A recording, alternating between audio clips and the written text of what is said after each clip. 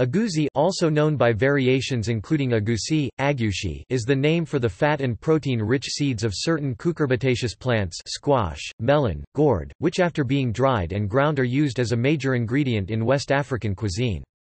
Authorities disagree whether the word is used more properly for the seeds of the colocynth, those of a particular large-seeded variety of the watermelon, or generically for those of any cucurbitaceous plant.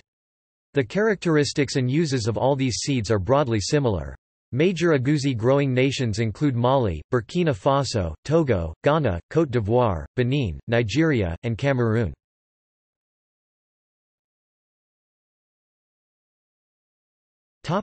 Usage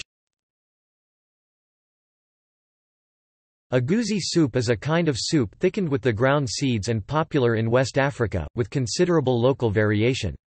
Besides the seeds, water, and oil, egusi soup typically contains leaf vegetables, other vegetables, seasonings, and meat. Leaf vegetables typically used for egusi soup include bitterleaf, pumpkin leaf, celosia and spinach. Typical other vegetables include tomatoes and okra. Typical seasonings include chili peppers, onions, and locust beans. Also commonly used are beef, goat, fish, shrimps, or crayfish.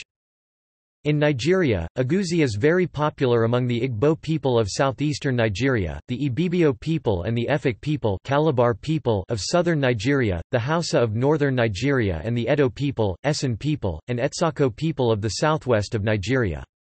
Yoruba people in general and quite notably the people of Osun state, especially the Ijesha people, eat iyan and egusi a pounded yam and egusi soup. In Ghana, egusi is also called akatoa of agushi, and as in Nigeria is used for soup and stew, and most popularly in palaver sauce.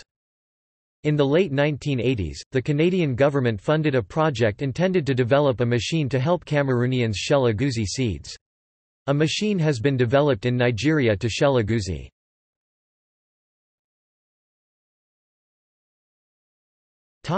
See also